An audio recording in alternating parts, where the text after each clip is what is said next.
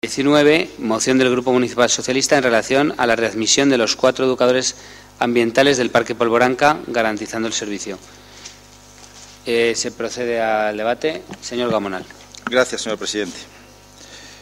Bien, desde el Grupo Municipal de Unión Progreso y Democracia somos conscientes de que en estos centros de educación ambiental se viene desarrollando una extraordinaria labor y concretamente en este centro de Polvoranca para todos los vecinos de Alcorcón, Leganés, Fuenlabrada y Móstoles, principalmente. El despido por parte de esta subcontrata y de estos trabajadores restará, lógicamente, operatividad a estos centros.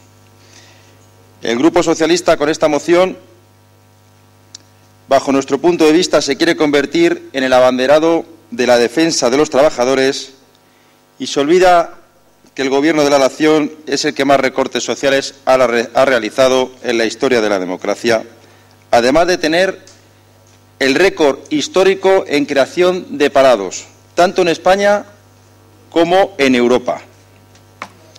Ahora, últimamente y sorprendentemente, se pone al lado de la banca indultando en el último Consejo de, Consejo de Ministros al señor Sáez.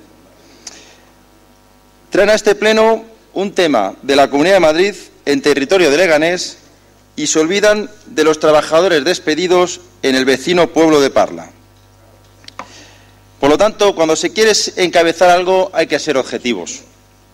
Pero miren, apoyaríamos esta moción que nos traen hoy al Pleno si desde este Pleno también se pide al Ayuntamiento de Parla que readmitan a todos los trabajadores despedidos.